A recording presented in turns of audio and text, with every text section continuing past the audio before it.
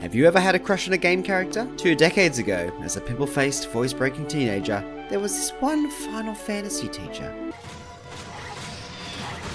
This thing's terrifying. I remember being so scared of this when I was a kid. But don't worry. Don't fret, viewers. Because Best Girl's about to come in. Like, how do you outrun that? Boat's given up. Jump!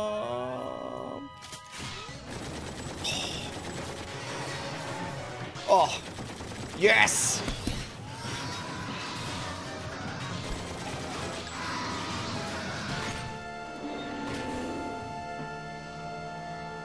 That's one of the sexiest things I've ever seen.